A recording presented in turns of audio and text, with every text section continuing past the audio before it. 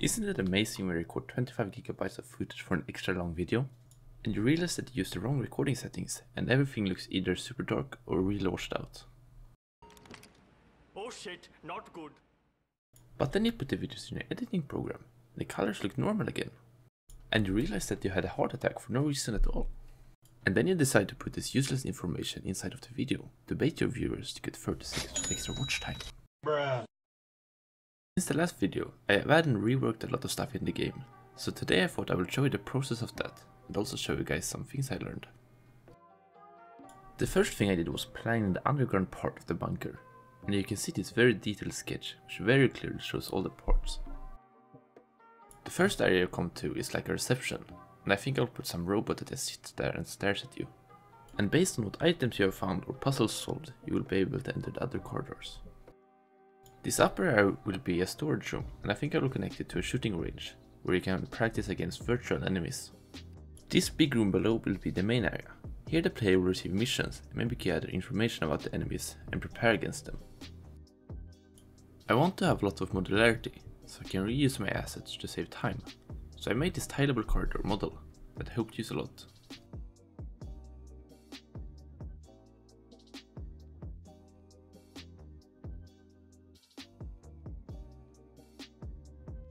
I also designed these sliding doors, and I think I will use the same doors almost everywhere, except in areas where I need really thick doors for security or something. And here's how it looks when it's imported. I'm pretty happy with the overall look of it. I just need some more details and materials for it of course. Okay, so with these walls I created an actor blueprint, and you can see if I can select it, it's pretty hard. Uh, there is like a trigger box here. So if I play and I walk inside here, and I press a button, the door opens. But if I press a button when I'm outside, it doesn't work. Like that. So it's just a sliding sequence using a timeline. And it looks pretty cool still, but I will need to add some security feature for the front wall at least. Like a passcode or a scanner or something, or maybe a puzzle to get through. And also there's a door here for the elevator. It's a little bit big I think and then you get here into the elevator that doesn't actually exist yet. And you get another door. You walk through here. And here is a door that's a little bit different. And if you walk into here and you press the button it opens a scanner the laser scan you. And if you are verified you get to walk through. And if you want to go back from the other side you don't need a laser you just walk through this. So if I start the lasers and I walk out right now, the door shouldn't open because I'm not there. Yeah, so it worked. And honestly, I feel like I put way too much time into making these lasers, but I really wanted them a specific way, like this, so it comes out and then it rotates and then it closes again. Uh, and it took quite a while, but it finally worked. So what happens is that I have if I can get close to this, there are, um, I think, 14 lasers maybe? 13? Yeah, it's uneven because there's one in the middle that's not rotated. And you can see these are just tiny little uh, cylinders. And they have their origin exactly at the, the top. So if I take this one, for example, uh, uh, and I scale it on the x-axis, Oh, it's locked. Like this, x-axis.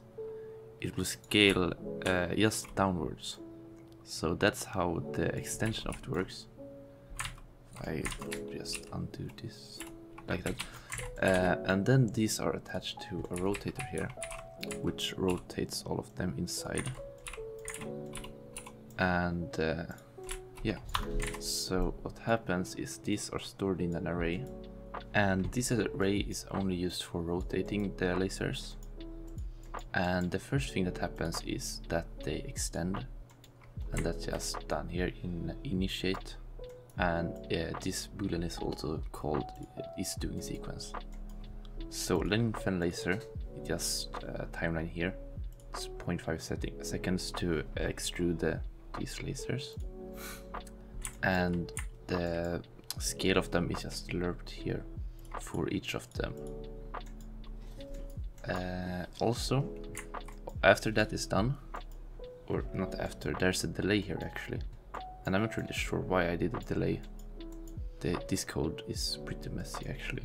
But just a delay so I know how long it is maybe. After the, they are extruded, they are rotated like uh, outwards to left and right. And how that is done is I use a for each loop and uh, this one it's 0.75 seconds. So I use this and based on the array index I map the index to their corresponding rotation. So they are 0 to 12 uh, I'm not really sure if that's correct actually but it works so. And there that's mapped to uh, 110 and 70 so you can see that one that is 1 uh, it will be mapped to uh, 110 I think. 110 oh my god. So if I go in here. Oh it's so messy. Uh, something like 110 you can see here. And then I extrude it to something like 0.075 I think. No 0.075 like this so it gets its rotation from that. And uh, if it's uh, oops, if it's in the middle then uh, the rotation will be right in between. And that will mean it's pointing right down uh, 90 degrees I think. And that's about all I did with the bunker. Now I'll just take a quick moment to show you my Discord server. If anyone watching is interested in following the game a little bit closer or test it or share your own progress of your game I also decided to change the exterior a little bit. I thought instead of having a floating island that looks a little bit out of place, I would have a bunker inside of a mountain. So I removed a lot of rocks on the bottom and also the foliage to make space for the new mountain, or the cliffside. I created a new and bigger landscape this time, because I don't think there's a way to resize an actual existing landscape in Unreal Engine. And something stupid I did was remove the old landscape without checking how I set up the material for it, which took a lot of struggling to figure out again. And when I finally got it working again, I stumbled upon this interesting glitch.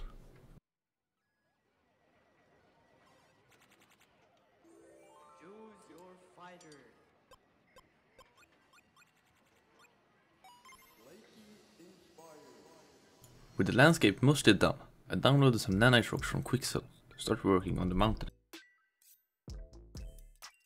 I fixed some gaps in the landscape and also used the visibility tool to hide some part of the landscape that we're hanging out to for.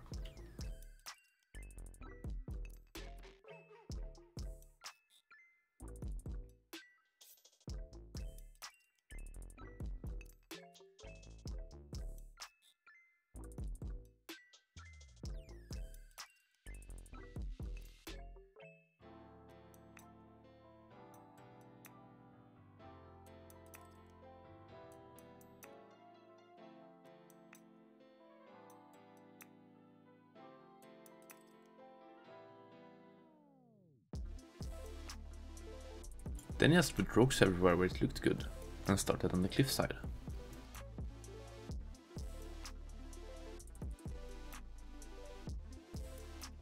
I didn't have that many meshes, so I tried making it not so obvious that I was reusing the same meshes every time, by putting them upside down and scaling a little bit.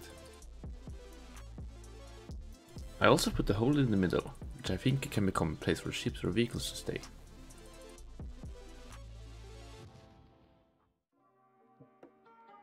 And since Nanite works with foliage now, we could get a lot of detail back while having good performance.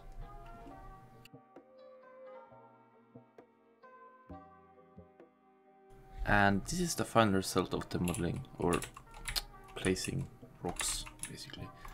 So there is this cliffside wall, and you can still see it's quite repetitive with these ones, but if you're up here, I don't really think you're going to notice it ever, really. So yeah. And there's this cave or hole in the wall that will connect to the bunker I think. So kind of like a place where ships can fly in and land. And there is also this fog uh, volumes. I can select the one which is here. this one. So this just has a volumetric fog material on it. And you can see that I can move the fog down where I want it. So yeah. And also I add a little, more, a little bit more rocks up here. And also a passage that goes to another place. And this will be another area, which I won't be spoiling now. But if you ever play the game, you can see where it leads. and uh, I really liked the wall here, where you could see through it. So I didn't want to remove it completely, so I just turned it into a cave kind of, with a little bit of fog here. And it looks pretty good actually.